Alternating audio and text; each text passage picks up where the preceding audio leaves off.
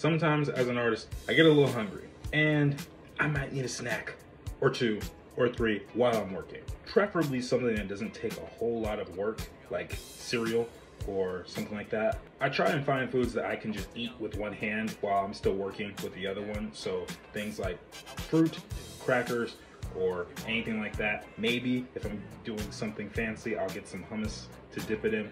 But usually I try and keep things very, very simple. Try not to eat something like a lasagna or something that requires a fork and a knife to eat. What is it that you guys snack on when you guys are working?